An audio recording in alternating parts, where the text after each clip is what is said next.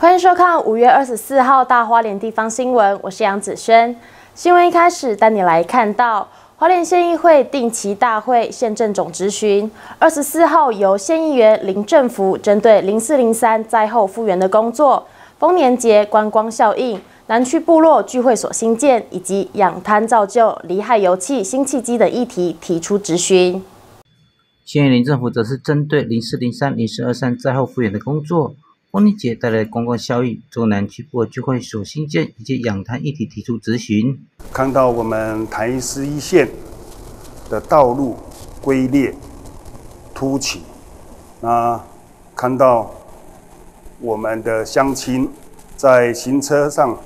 都有影响到，所以这次的总执行也希望我们建设处跟我们的公路段。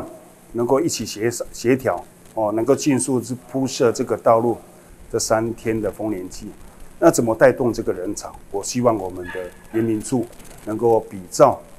像我们的嘉嘉嘉练嘉年华一样，能够怎么去吸引，让国内外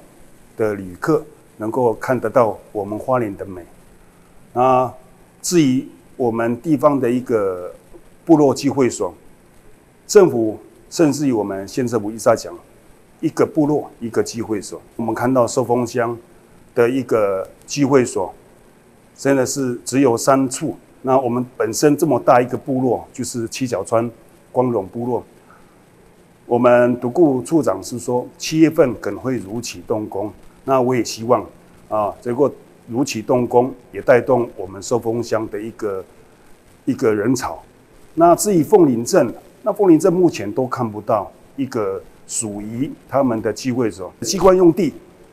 公园用地、教育用地都可以释出。那本席应该是看到是可能公所这里跟跟我们县府可能没有达成这个协议，我也希望啊，县府这边跟公所能够尽速的跟去做协议哦，让让这个五个乡镇都有正常的一个聚会所，三摊车的一个。景点哈，那一直到我们的港澳渔港，这延伸哈，以其刚才所讲的山海机场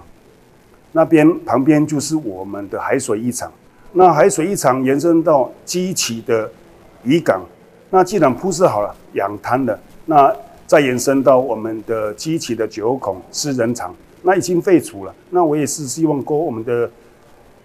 交呃农业处。能够跟渔业署能够协商，作为一个离海的一个休闲地区，我们所讲的飞行伞哦，那可以可以带动我们的人潮经济。为什么这些玩这些的飞行伞或是我们的沙滩车都是年轻人？那我们比较年纪大的，可能都是跑个步道啦，或是